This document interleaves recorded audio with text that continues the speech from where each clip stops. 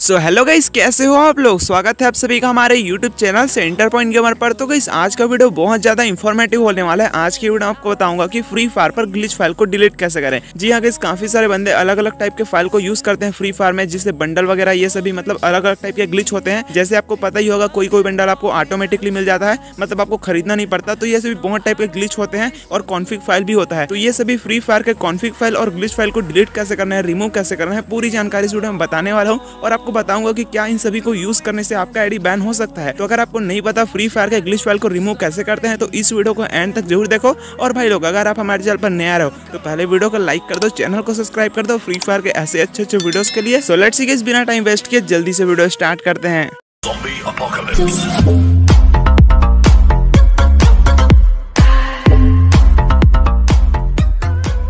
तो अभी गई हम वीडियो में टाइम वेस्ट बिल्कुल भी नहीं करेंगे। पूरी जानकारी आपको बिल्कुल सही से बताने वाला हूँ और बहुत अच्छे से एक्सप्लेन करने वाला हूँ। तो देखिए, ये सभी जो ग्लिच फ़ाइल होते हैं कॉन्फिक फ़ाइल और भी बहुत सारे अलग अलग फ़ाइल होते हैं तो ये सभी आप अपने फ्री फायर में डाल लेते हो या फिर कभी कभी ऑटोमेटिकली भी आ जाता है और कोई कोई बंडल में मतलब अलग अलग दिखने लगता है। आप अलग बंडल को सेलेक्ट करते हो तो दूसरा बंडल सेलेक्ट हो जाता है। तो ये सभी ग्लिच होते हैं तो इनको यूज़ करने से तो उसमें गैस बहुत ज़्यादा रिस्क रहता है। इसमें आपका आईडी बैन हो सकता है या फिर आपका आईडी परमानेंटली सस्पेंड कर दिया जा सकता है या फिर कुछ हफ्तों के लिए भी सस्पेंड किया जा सकता है। तो आपको ये सभी फ़ाइल को कभी भी अपने जो फ्री फायर का डाटा रहता है, उसमें कभी भी नहीं डालना है। आप कभी भी फ्री फायर के डाटा में ये सभी ग्लिच का छेड़छाड़ मत करना मतलब कि ग्लिच को डालना या फिर इसको हटाना चाहते हो। तो देखिए, इसको बता रहा हूँ, हटाने का बहुत सिंपल सा तरीका है, बस वीडियो को देखना होगा और आपको हर चीज़ बिल्कुल अच्छे से एक्सप्लेन कर दूँगा। तो कैसे आपको कभी भी ये सब मतलब ग्लिच वेज को डाउनलोड नहीं करना है और अलग अलग फ़ाइल होते हैं तो ये सभी फ़ाइल वगैरह को डाउनलोड नहीं करना है। देखिए, आपको ज़्यादा कुछ नहीं करना है, बहुत ही छोटा सा प्रोसेस है इसको रिमूव करने का। उसके बाद इस आपका मतलब जो भी प्रॉब्लम है ग्लिच का मतलब जो भी ग्लिच हो जाता है ड्रेस में ग्लिच हो जाता है तो ये सभी जो है सॉल्व हो। जाएगा और जो भी कॉन्फिक फ़ाइल या फिर कुछ भी फ़ाइल वगैरह डाउनलोड करके रखे हो तो वो सभी भी डिलीट हो जाएगा। आपको घबराने की ज़रूरत नहीं है। तो यहाँ पर आपको ज़्यादा बड़ा प्रोसेस नहीं करना है। बहुत ही सिंपल सा तरीका है।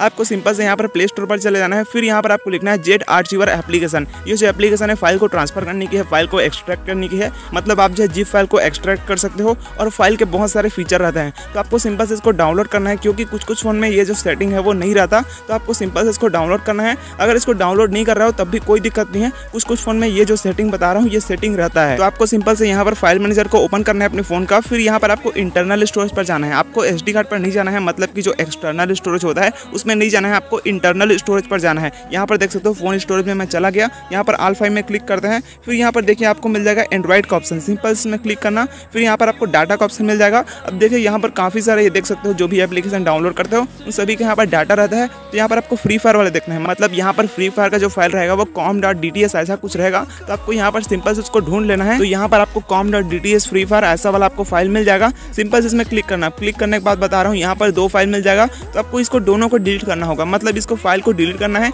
ये जो फ़ाइल है वो एक्सप्रेशन पैक वाला रहता है। मतलब कि आप फ्री फायर पर जो एक्सप्रेशन पैक बोलते हो, जिसको कॉस्ट्यूम पैक भी बोलते हैं कलेक्शन पैक भी बोलते हैं तो वो सात सौ से आठ सौ का रहता है। किसी किसी के में तो नौ सौ मतलब अभी अपडेट के बाद तो वन जी का हो गया है तो वो एक्सप्रेशन पैक रहता है, उसी को आपको टोटल डिलीट करना होगा। मतलब उसको डिलीट किए बिना इसको सॉल्व नहीं किया जा सकता। तो ये सभी जो फ़ाइल रहते हैं, वो इसी के अंदर रहता है फ्री फायर डीटीएस और उसके अंदर कॉन्टैक्ट कैचेस भी रहता है। मतलब कि जो भी ग्लिच वगैरह हो गया है, ये सभी इसी के अंदर रहता है तो उसको हमको डिलीट करना होगा, उसके बाद ये प्रॉब्लम जो है वो सॉल्व हो जाएगा। तो यहाँ पर आपको सिंपल से कॉम डॉट डी वाले फ़ाइल को लॉन्ग प्रेस करना है। यहाँ पर आपको सिंपल से डिलीट का ऑप्शन मिल जाएगा सिंपल से फ़ाइल जो है इसको पूरा डिलीट कर देना। डिलीट करने के बाद ये प्रॉब्लम जो है वो हंड्रेड परसेंट सॉल्व हो जाएगा। आपको फिर से लेकिन फ्री फायर में जाकर एक्सप्रेशन पैक जो है मतलब जो कॉस्ट्यूम पैक है, उसको डाउनलोड करना होगा। तब ये प्रॉब्लम जो है आपको फिर से दोबारा फेस करना नहीं पड़ेगा। तो एक्सप्रेशन पैक जो है आपका डिलीट हो जाएगा, लेकिन ये प्रॉब्लम को सॉल्व करने का सिर्फ़ यही एक तरीका है। तो आपको बता रहा हूँ, इसको सिंपल से डिलीट कर देना। ये जो प्रॉब्लम है ऑटोमेटिकली सॉल्व हो जाएगा और भी आपको कुछ भी करना नहीं पड़ेगा। तो इस तरीके से कैसे आप फ्री फायर के ग्लिच को रिमूव कर सकते हो तो यही एक ट्रिक था जो मैं आपको अच्छे से एक्सप्लेन कर दिया।